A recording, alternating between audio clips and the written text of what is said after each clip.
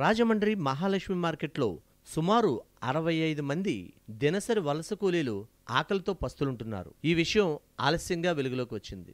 అయితే చాలా బాధాకరమైన విషయం ఏంటంటే పది రూపాయల బిస్కెట్ ప్యాకెట్తో నలుగురు ఆకలి తీర్చుకుంటున్నారు. పనులు లేక పస్తులుండే పరిస్థితి. ఇటు ప్రభుత్వం గాని స్వచ్ఛంద సేవా సంస్థలు గాని అక్కడికి వెళ్ళకపోవడం గమనార్హం. అంటే తెలియకపోవచ్చు. అయితే ఈ విషయాన్ని విఎస్బి ప్రేక్షకులకు తెలియజేస్తున్నాం. మీరెవరైనా కనీసం పది మందికి భోజనం పెట్టగలిగితే ఆ అవకాశం మీకుంటే మా సంస్థకు ఫోన్ చేయండి. మీ భోజనం మేము వారికి అందజేస్తాం. ఎక్కడ ఆకలిగా ఉంటే అక్కడికి వాళ్ళకి అందించడమే మా లక్ష్యంగా. మీ ఆహారాన్ని అన్నార్థులకు అందించే బాధ్యత విఎస్బి న్యూస్ తీసుకుంటుంది.